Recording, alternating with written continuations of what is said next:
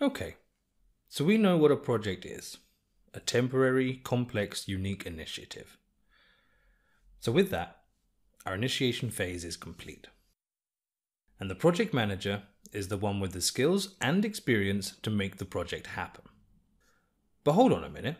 Our Lamborghini project hasn't got a PM. Who could take on such an important task? How about you? Excellent. Welcome aboard. So, now, we're at the point where the board of directors has okayed the project, the PM has been hired along with the project team, the feasibility study and risk assessment have been carried out, we have a neat project charter, and everything looks in order. So, what next? Time to plan a project. So, take a pencil, grab the scrunched up napkin from the dinner table, and spend the next five minutes drawing a mind map. Oh, if only it were that simple. Planning is a detailed procedure and is the key ingredient in the recipe for success. In this next section, we'll take a trip through the ins and outs of the planning process. Let's begin with the simplest of questions What is planning? It is the process of analyzing, evaluating, deciding, and organizing activities in advance. We can summarize it in three fundamental steps. 1. Define the goal. 2. Evaluate options. And 3. Choose and confirm the best option to achieve the goal. Complex human endeavors involve planning on two levels strategic, should we do it, and tactical, how do we do it, when and what resources should we spend. But how important is planning in our work and in our spare time? That's an excellent question. So consider the following examples. Sports managers. They do not simply show up to the game and start yelling at the players. Before the game, they analyze multiple aspects, create a game plan, decide how to attack the opponent's weak spots, how to defend their own, and they also have backup plans if the initial ones don't work. Take Hollywood actors.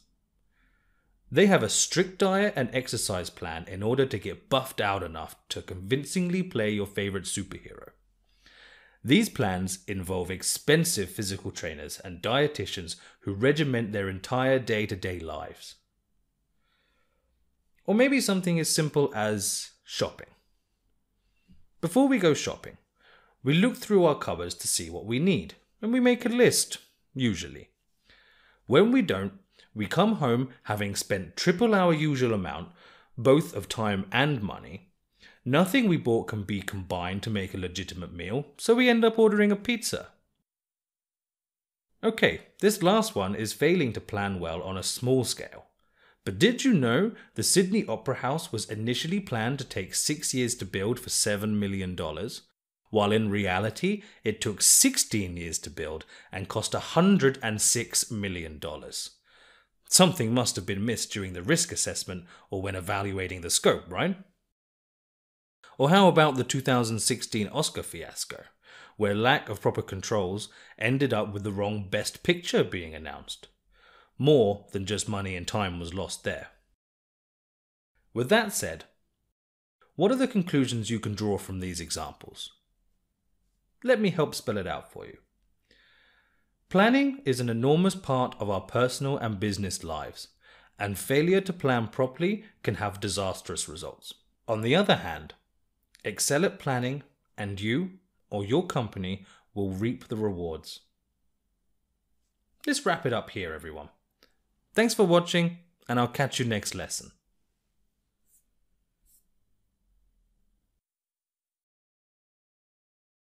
Planning projects is the fundamental work of the project manager. It's their time to shine.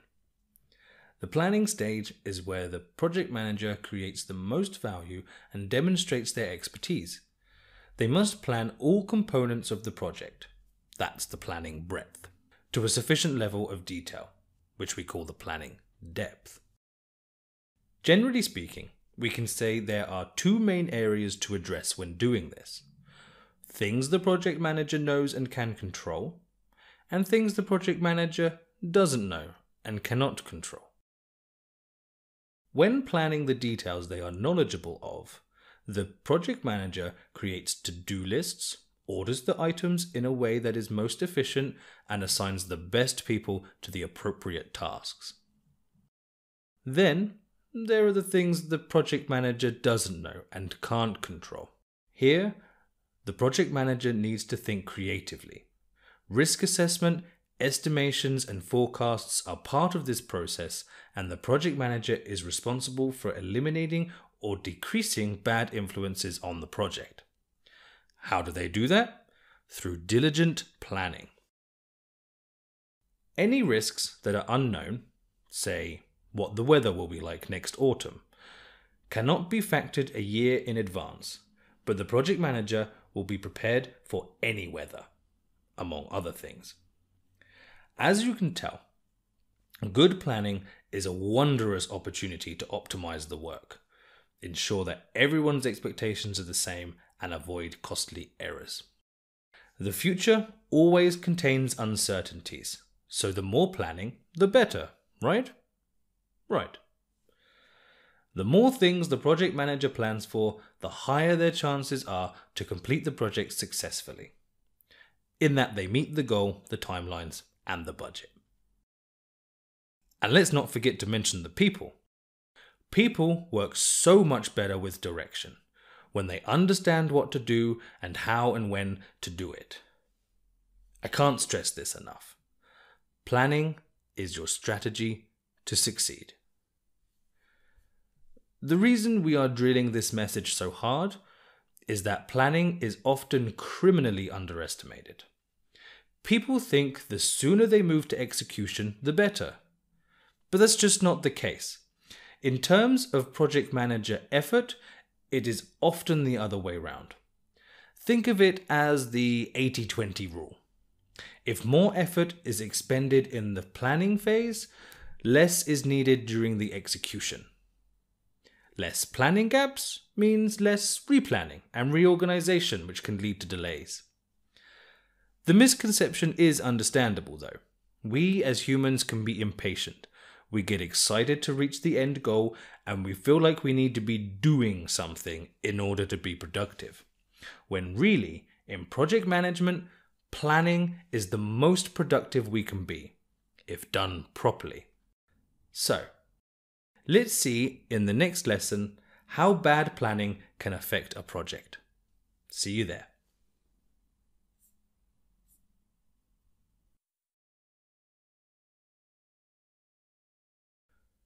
To really drum in the importance of planning, in case you haven't been listening, this lesson is going to look at the cost of change.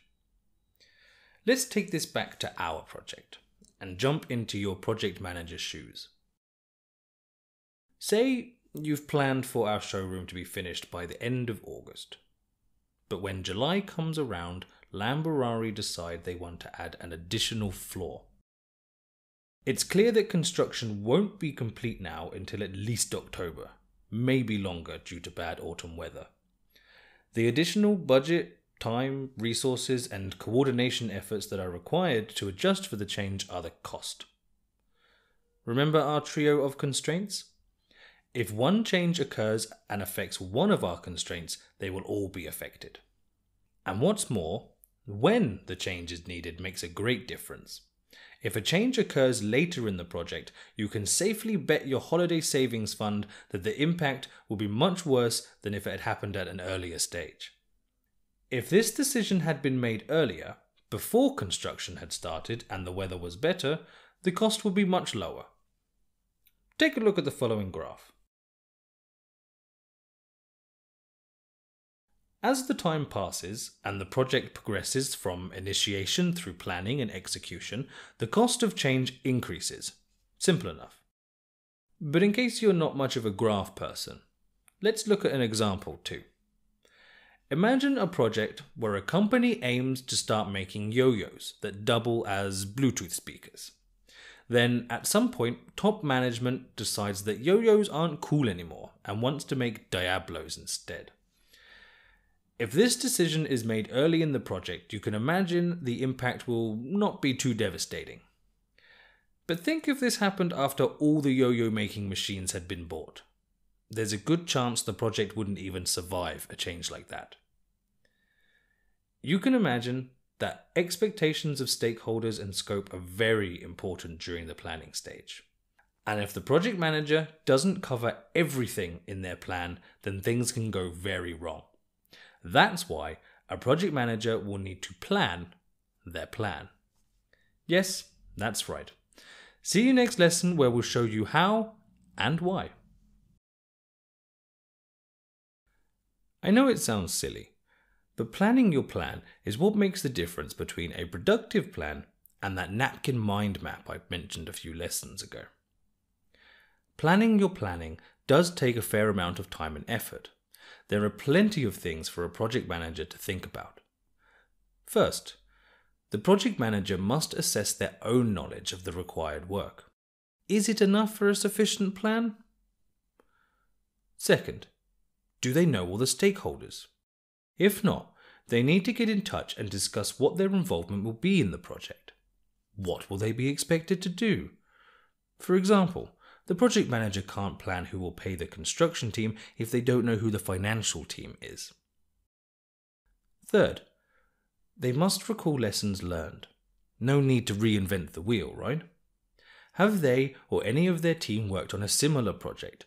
And if so, what lessons have they learned that they can bring across to the current project? Lastly, what about any knowledge gaps?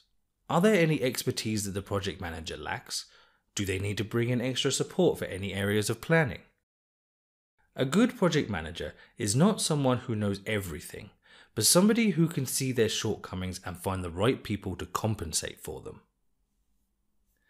The project manager needs to determine how much time they need to put all the pieces of the project plan together.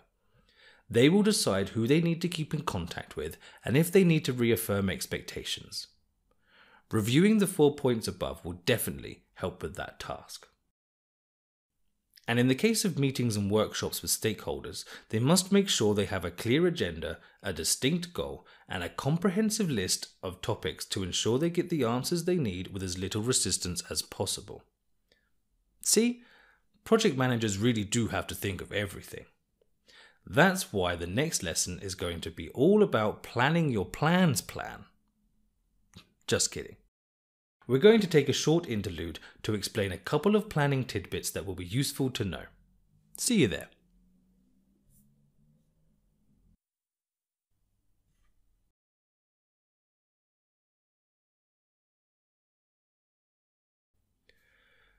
Before we move on to planning, I just want to interject with a couple of pointers that are worth knowing, because we've got your back. The first one is a tip from PMI, so you know it's worth your time. Here it is. Planning is iterative. We've made it clear that planning covers all sections of the project, from timelines to risks to expectations. But it's important to know that before the planning is complete, you may often need to make modifications to the stages already planned. New information can always change the plans you've already made. For example, say you're planning timelines for the virtual reality area of your showroom. Last year, you added a section like this to a different showroom and it took you two months. Therefore, when you plan this in your timeline, you use the same duration. A little while later, you start planning your resources and you realize that two members of the tech team have left since last year, leaving you with 20% less staff. There's a good chance this will affect your timelines and you will have to go back and revise them, adjusting the time and resources of the project. See, planning is iterative. Be patient and until all areas have been analysed and planned, you better write your plans in pencil. Then we have what we call non-straightforward tasks. Some tasks are simple. We can imagine how they will be done and in how much time. Say one task is organize a workshop session. The project manager reviews the necessary participants, finds a good day and time for everyone's calendars, books a room, puts a flip chart inside, and sends the invitations. This process is easy to predict and execute, right? There are, however, these non straightforward tasks. In our project, let's say you are planning to project dynamic elements and animations on the cars, things like weather and different paint jobs. For this to work, you need to recruit an experienced software developer. Let's call this task Estimate Recruitment Duration. Sounds simple, right? You need to analyze and dedicate a number of weeks to recruit the person. You decide that two days are more than enough time to get the information needed to estimate this. So you write an email to HR and ask how many weeks they'll need to recruit an appropriate engineer. The same afternoon, you see a reply from HR. Excellent. Looks like you'll have the estimate in one day instead of two. You open the email and it says they can't give you an estimate until you tell them more about the ideal candidate. How many years of experience? What kind of projects have they worked on? What kind of programming language is needed? Things like that. You stare blankly at your computer screen because you have no idea. The next day, you call your colleague in the IT department and ask them for the details HR needs. They respond quickly with most of the information, but recommend you get formal validation from Sandra, head of IT. But Sandra is on holiday for the next two days. You have no choice but to wait. When Sandra returns, she's happy to help, but needs a day to go through the information and validate it. Finally, the following day, you get the information and send it over to HR. They review it and give you an estimate of seven weeks. Awesome! Task completed. Although instead of two days, it took you eight days to estimate recruitment duration and fit it into your plan. Tasks like this, especially ones which involve other people and information the project manager is not fully knowledgeable in, can have unexpected results and complicate the process, which in turn can change plans. Keep this in mind as we move on to the next lesson and the real planning. It's all been coming down to this. Brace yourselves and see you in the next lesson. Welcome. Are you ready to see how a project manager plans a project? Excellent. Over the next few lessons, we're going to discuss every step of the process, and by the end, you will be more than aware how essential the planning stage is in the project lifecycle.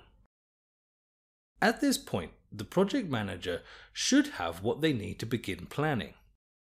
And this stage, the planning, has its own structure, so the project manager can cover all areas. Because as we know, the more thorough the plan, the less likely the project manager will end up needing to spend resources fixing something later in the project. Breadth and depth, remember? So, where do we start? That's right, scope. The project manager needs to know exactly what her or his project will involve before any work starts. Sensible, right? Thinking of our Lamborghini project. In order to prepare what you need to build the showroom, and for it to be a trendy new building setting the standard for all other car showrooms, you need to know exactly what this project will involve. What should the showroom building look like? How many floors? What cars are you producing? What color scheme will you go for? Which angle will the building face? This is why scope is the first thing you have to plan. You are accountable for translating the goal of the project into deliverables and then into tasks or sets of tasks. Collectively, these represent the scope, and the scope answers one question and one question only what exactly does the project team need to do? I never said it was an easy question. So, our goal is to have a new top of the range showroom in a new retail park showcasing our newest, most state of the art cars with well trained staff and setting the standard in terms of showroom architecture. Deliverables are the building blocks of the project. They all come together to reach the goal. One deliverable is construction of the showroom, and the set of tasks needed to reach this deliverable are the following 1. lay the foundation. 2. Erect the walls and core structure. 3. Fit the floor. And 4. Paint the outside. And that is just one part of the scope. Remember, the scope is the broader concept. It's not just the product, or in our example, the cars, the showroom, and staff themselves. It includes all the additional work that needs to be done to ensure the product is not only created, but meets the requirements and expectations of the project stakeholders. Now, what if you find out there's a building already on the piece of land that you want to build the showroom on? You'll have to demolish it. This is not part of the construction deliverable, but needs to be done before anything else can start. Therefore, is part of the scope. If this had not been thought of, construction would be delayed, costs would be above what had been planned, and stakeholders' expectations would not be met. So, you will need to think of the product scope. That is, the tasks that need to be done in order to produce the product, the showroom in our case. Also, you will need to think of the project scope, which is all that you need to do in order to achieve the project goal including the product scope. Say there is a small street next to where the showroom is to be built, and the residents on that street are of the clear opinion that it is the responsibility of the company that is building the showroom to renovate the street. Is that a responsibility of the company? The answer is in the scope statement of the project. If it's not specifically included, you cannot spend resources on this costly work. This is why scope needs to be described in detail, including what is not in the scope. Of course, a little common sense goes a long way here. If you forgot to put door handles in your showroom project scope but included windows and doors, we would not deny the showroom 20 or so door handles.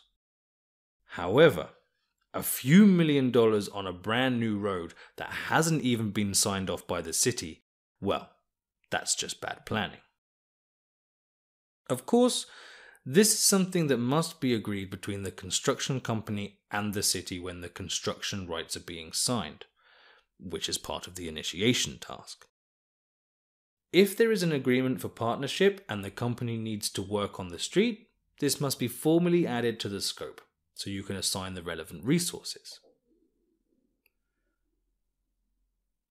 Now, to sum up the scope stage, the project manager starts by assessing the information she or he has on the project's scope, being what they gained during the initiation.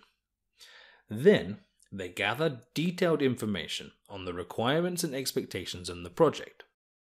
They use their expertise and that of their team members to cover all the grey areas of the scope that can and will affect their project. And finally, they document everything if something arises, there needs to be an easy reference point for the project manager or other stakeholders to check in order to determine if something is worthy of their time and resources. Awesome. In the next lesson, we will look at these three steps in more detail. How a project manager analyzes the high level information, deals with stakeholder expectations, and how they document the scope in a user friendly way. See you there.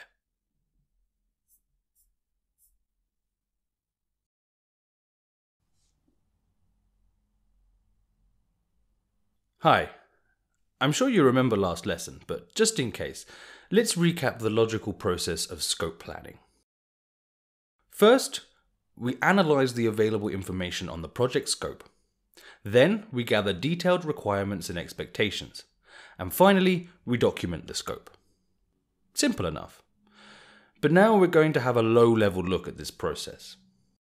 So the first step. The project manager analyzes the high level information from the project goal and scope, gained from the initiation stage. These come from sources like the project charter, discussions with the sponsor, client, and stakeholders, and other project communications. The next step is for the project manager to gather detailed requirements and expectations. This stage involves dealing with the stakeholders, the ones who started and approved the project. sponsors and senior managers usually. And of course, the ones who benefit from or are impacted by the project, such as external parties and departments within the organization. They are a reliable source of information on scope if the project manager asks the right questions. The meetings and workshops the project manager planned are utilized here. Remember, getting this information can be difficult, as these tasks are often non straightforward tasks.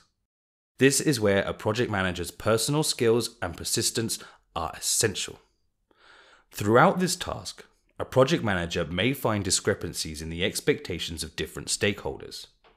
For example, a senior manager for Lamborghini wants the sales team to have a new computer software to aid their daily work, so expects this enhancement to be part of the scope. The goal of the project is to improve the sales, right? However, new software for the sales department is not part of the scope here. Time and budget to do that are not forecasted. And from the triple constraint, you know what implications that will have. The project manager needs to adjust the senior manager's expectations to avoid wrongly expanding the scope. The pressure is on. The more experienced a project manager, the more detailed the scope will be. Of course, things will be missed and mistakes made, but the fewer, the better. And the more information a project manager gets out of the stakeholders, then the less likely big mistakes will occur.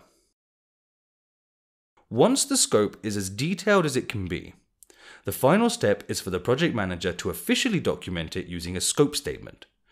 A sample is in the resources for this lesson, although usually the project management office uses a standard template. Think of the scope statement as a formal contract between the project manager and other stakeholders. It can be used as proof of what the project manager has and hasn't committed to do. So, as explained, the purpose of the scope statement is to formalize the scope. Its format, however, is not user friendly when it comes to the practical planning with timelines, actions, and owners, which will follow.